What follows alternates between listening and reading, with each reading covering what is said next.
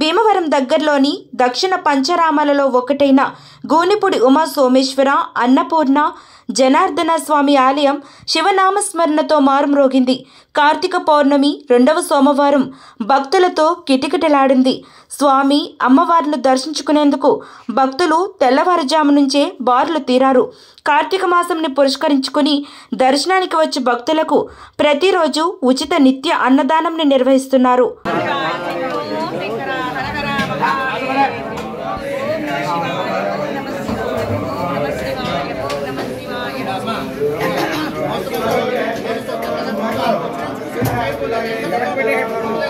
ये बैग